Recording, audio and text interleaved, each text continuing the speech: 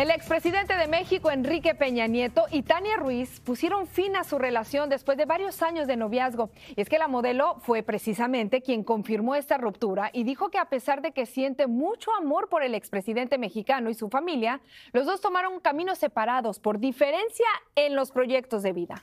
Bueno, el expresidente de México y la empresaria que iniciaron su relación a inicios del 2019 se vieron envueltos en un escándalo por infidelidad del pasado mes de diciembre, algo que ellos nunca confirmaron. Por ahora se conoce que Ruiz se quedará a vivir en España, pues su hija ya asiste a una escuela local.